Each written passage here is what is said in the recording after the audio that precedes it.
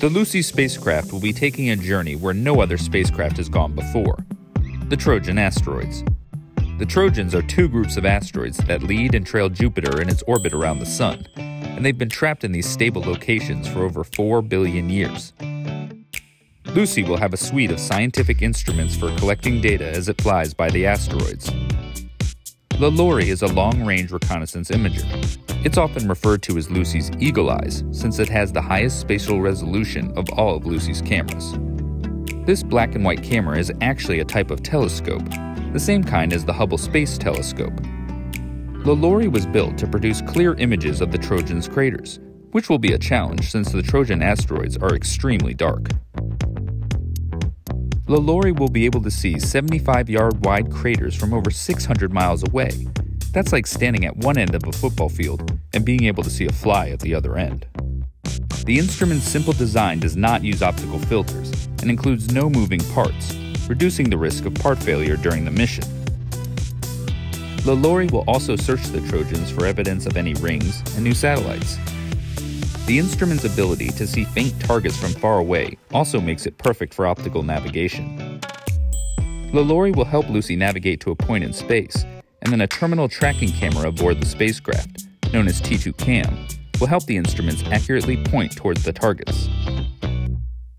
LITES is Lucy's thermal emission spectrometer, which detects far infrared radiation emitted by the asteroids due to how they are heated up by sunlight. LITES detects this radiation using a small telescope to focus the incoming energy onto a detector, similar to the way a remote thermometer works. So, LITES is not taking images, but rather temperature measurements at various points on the asteroid. This data will be combined so that scientists can get an understanding of its surface properties. The test will examine the properties of the regolith on the surface by measuring thermal inertia, which is the measure of how slowly the asteroid heats up from sunlight and then releases that heat. By taking the temperature readings at different parts of the asteroid, the Lucy science team can measure the thermal inertia and figure out how much dust, sand, or rock is present on the asteroid's surface. That data will tell us a lot about how the asteroid was formed, providing insight into the history of our solar system.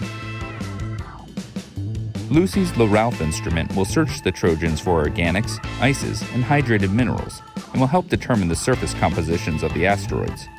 LaRalph is actually two instruments in one, and together they will measure and analyze the spectra of light absorbed and reflected by the asteroid.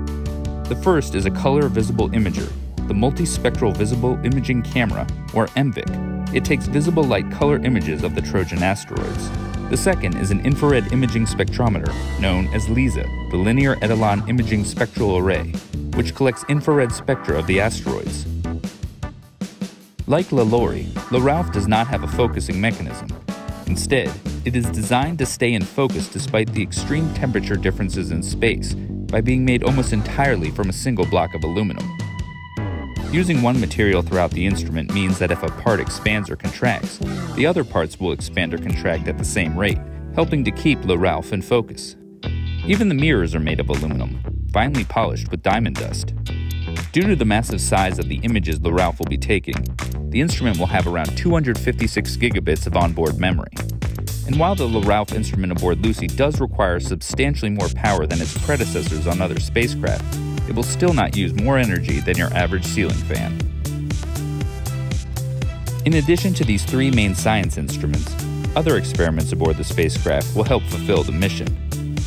Lucy will use its high gain antenna to communicate with Earth for an additional radio science experiment to determine the masses of the asteroid targets. Lucy will also be able to use its two terminal tracking cameras, or T2 CAM, to track the asteroids during the flybys, keep them in the field of view, and to take wide field images so that we can better determine their shapes and perhaps discover new asteroids nearby. As you can see, the Lucy spacecraft has a large suite of tools to study the Trojan asteroids, which will help us better understand the formation of our solar system.